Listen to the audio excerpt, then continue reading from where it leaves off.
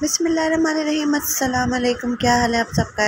सब खैरियत से होंगे। अल्हम्दुलिल्लाह, मैं भी बिल्कुल ठीक, बहुत मज़े में। बारिश का दिन है जी, रात से बारिश बारिश, बहुत प्यारा मौसम है और बारिश के हिसाब से बने हैं।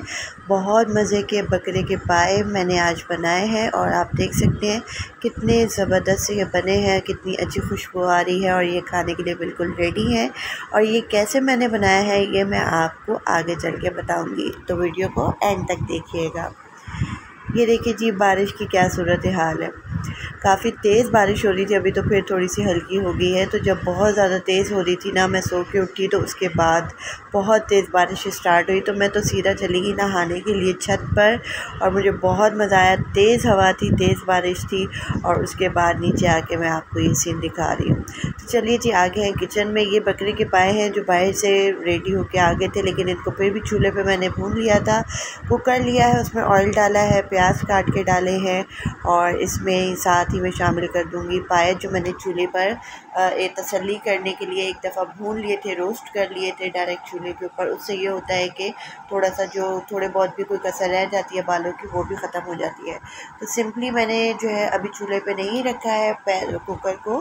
तो सिंपली इसमें मैंने ऑयल, प्याज और पाए, उसके बाद मैं इसमें डाल रही हूँ लाल मसाला, साथ ही मैं डाल दूँगी हल्दी पाउडर और उसके बाद मैं इसमें डाल दूँगी नमक। तो सिंपली मैंने इसमें चीज़ें ऐड करनी है, जस्ट मिक्स करनी है और चूल्हे पे रख देनी है।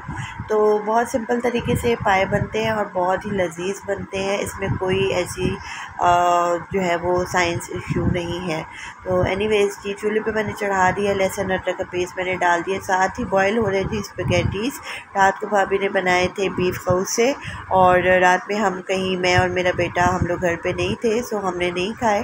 तो अभी हम लंच में खाएँगे बीफ हाउस से और रात के लिए मैं बना रही हूँ बकरे के पाए। तो जस्ट देख ले, मैं इन सारी चीज़ों को मिक्स आउट कर रही हूँ, ठीक है? इसको भूनना नहीं है। और इसके बाद इसमें मैंने शामिल कर देना है बहुत सारा सा पानी।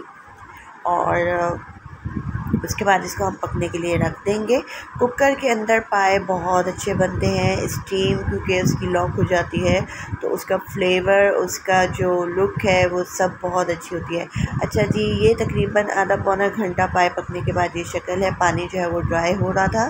तो ये हाफ़ डन से ज़्यादा है, यानी पाए ऑलमोस्ट गल चुके थे थोड़ी सी कसर थी। तो अब मैंने सोचा कि इसको मैं पानी खुश करके सूखा धनिया साथ डाल कर अच्छे से भून लेती हूँ।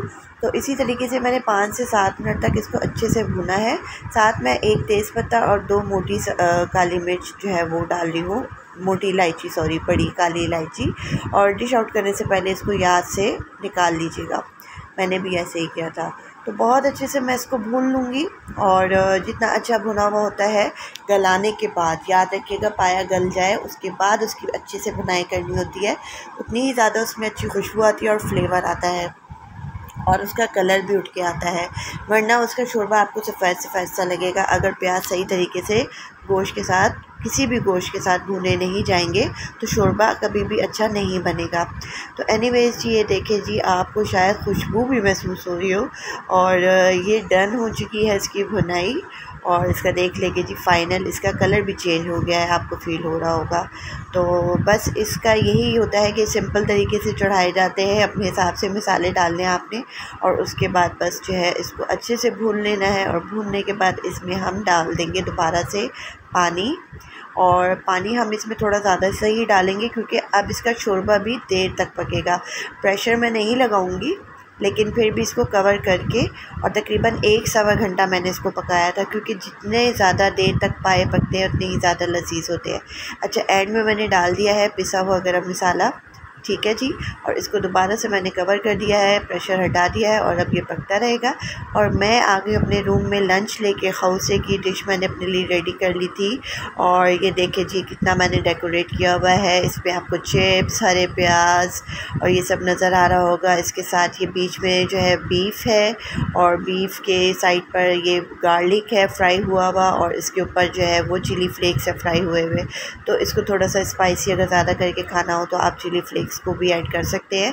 सो मैंने भी कर लिए तो ये बहुत ही मज़ेदार खौसे था और बीफ खौसे तो वाकई बहुत ही मज़े का बनता है बहुत यम बनता है और भाभी ने बहुत अच्छा बनाया था। और आ, मैंने चूँकि लंच में ही खाया तो अभी मुझे खा के बहुत मज़ा आया।